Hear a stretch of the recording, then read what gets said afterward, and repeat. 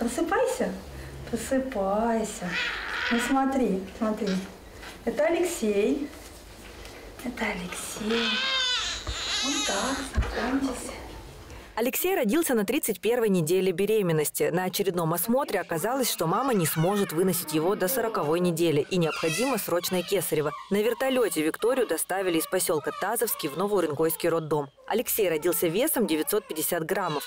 Месяц он провел в реанимации, а когда креп, его вместе с мамой перевели в отделение патологии новорожденных и недоношенных детей. Сюда попадают малыши, которым необходима медицинская помощь от обычной желтухи до серьезных патологий, в том числе вот такие крохи, которые родились с экстремально низким весом. Сейчас уже как бы страхов нет, ну, как бы он уже ест из бутылочки сам, и все сам делает, и в туалет ходит постоянно сам, а до этого он даже ходить не мог ничего.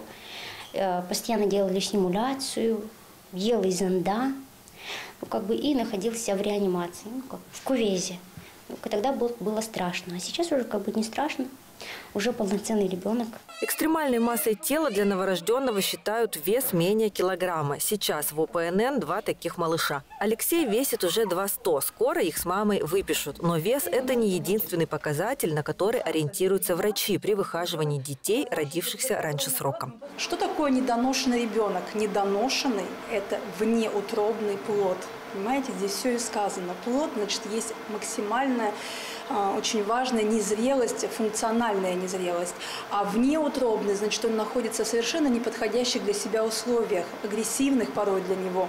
Ведь самый лучший кивец – это что? Это утроба матери. Это идеальная система. Достичь ее какой бы там ни было аппаратурой не так-то и просто. Для того, чтобы наладить работу всех систем организма, торопыжек, так ласково в отделении называют малышей, появившихся раньше срока, детьми занимается целый штат специалистов. Это не только неонатологи, а еще окулисты, терапевты, неврологи, медсестры. Здесь все абсолютно замечательные, хорошие врачи и весь медперсонал. Как бы я всем благодарна, что такое хорошее отношение к пациентам, да.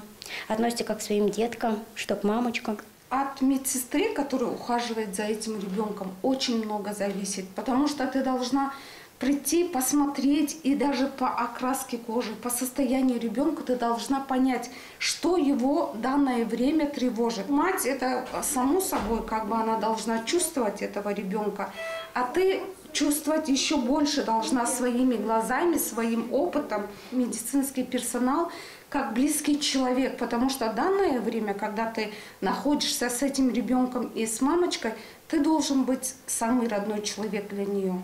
Совсем слабые недоношенные малыши лежат в кювезе, специальном боксе с определенной температурой и влажностью, а также инструментами для интенсивной терапии. Потом их переводят уже в специальную кроватку с подогревом. В ней поддерживается комфортная температура, а сама форма имитирует ограниченное пространство, как будто малыш все еще в животе мамы такая ограниченная немножко среда. Здесь легче сделать физиологическую укладку, ножки расположить как надо. Все это, это кажется мелочи, но выхаживание этих детей мелочей просто не существует на самом деле. Оксана Салтановна, Алексей готов к выписке? Алексей на финишной прямой, скажем так. Кто-то ждет детей из отделения патологии всего 10 дней, кто-то месяц и даже больше. Ожидание – это томительное и волнительное, но только здесь способны выходить малышей и с желтушкой, и с маленьким весом, и с другими проблемами здоровья. Для этого в Новоуренгойской больнице есть все – и современное оборудование, и квалифицированные специалисты, и самое главное – теплые сердца, которые переживают за каждого ребенка как за своего. Гюли Димитрадзе, Алексей Емелев, телерадиокомпания «Сигма» для НУР-24.